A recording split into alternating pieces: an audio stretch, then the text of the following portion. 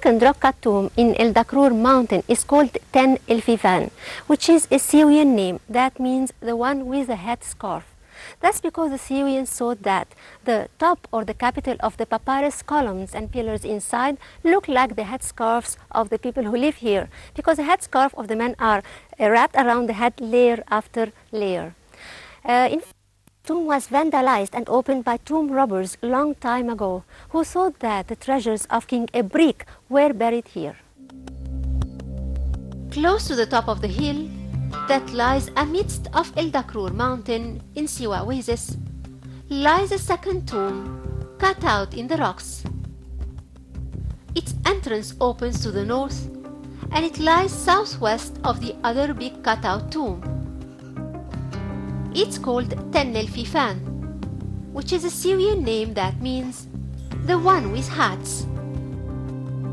That's because the people of Siwa noticed that the capitals of the four columns inside the tomb resemble the local hat or the head cover which they wear and is composed of a hat wrapped with linen scarf. The hewn-out ceiling of that tomb rests on four columns, but the body of these columns were taken or removed earlier. The capitals are still there. They take the shape of the papyrus flower, and thus they are called papyrus columns. On the right side of the entrance, there is a small chamber, and in the rear part of the cave, there are three small chambers. The intimidating, fearful style of the columns' capitals paved the way to invent many stories about King Ebrik. They say that he's buried in here with his treasures and is guarded by genies and demons. Thus, the tomb was subjected to a lot of destruction by the natives and treasure hunters.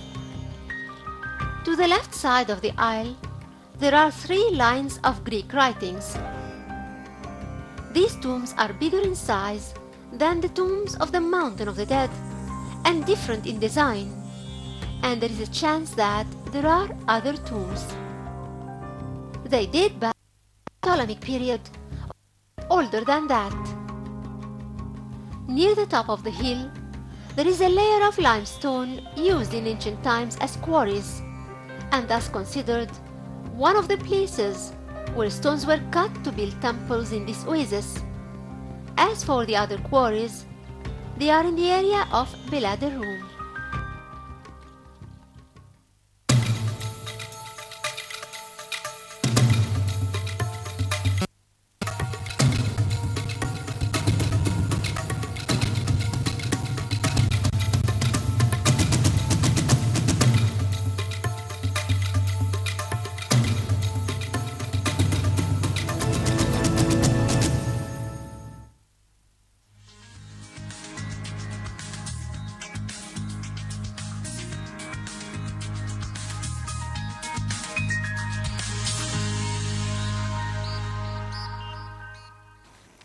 Welcome back. And as we have promised at the beginning of the show that we are going to talk today about the plastic art uh, and how the plastic art uh,